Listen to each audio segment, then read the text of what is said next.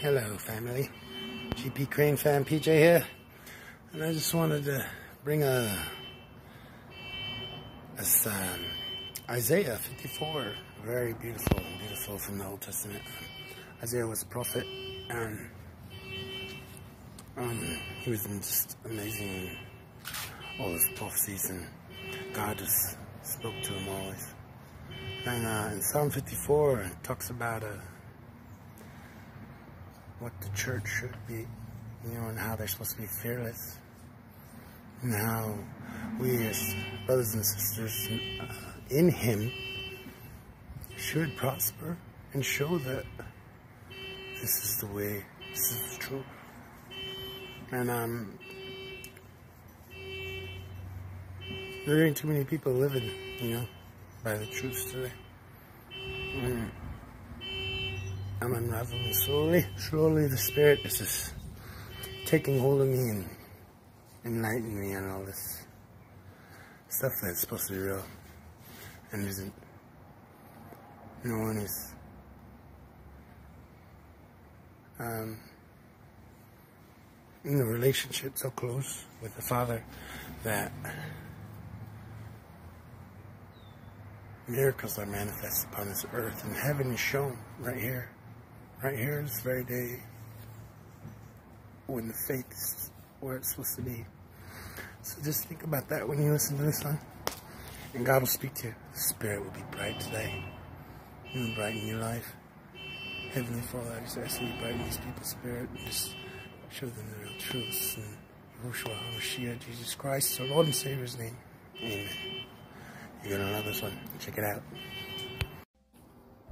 Isaiah 54 no weapon formed against you shall prosper. Sing, O childless woman, you who have never given birth. Break into loud and joyful song, O Jerusalem, you who have never been in labor. For the desolate woman now has more children than the woman who lives with her husband, says the Lord.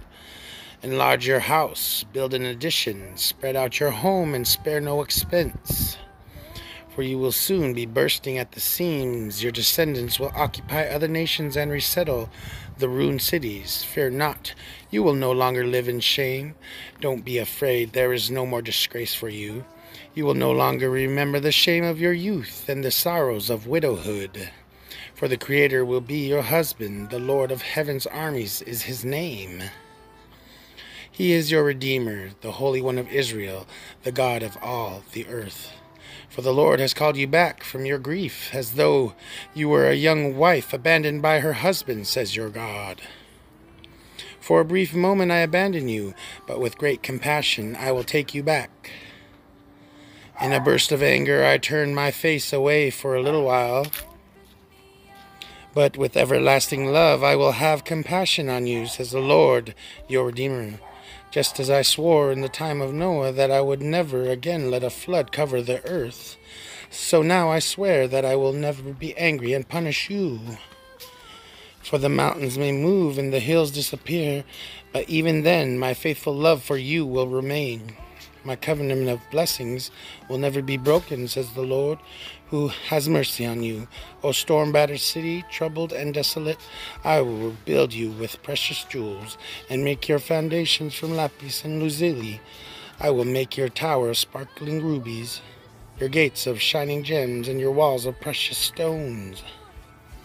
I will teach all your children, and they will enjoy great peace. You will be secure under a government that is just and fair. Your enemies will stay far away. You will live in peace, and terror will not come near you. If any nation comes to fight you, it is not because I sent them. Whoever attacks you will go down in defeat. I have created the blacksmith who fans the coals beneath the forge and makes the weapons of destruction. I have created the armies that destroy. But in that coming day, no weapon forged against you will succeed. You will silence every voice raised up to accuse you. These benefits are enjoyed by the servants of the Lord. Their vindication will come from me. I, the Lord, have spoken.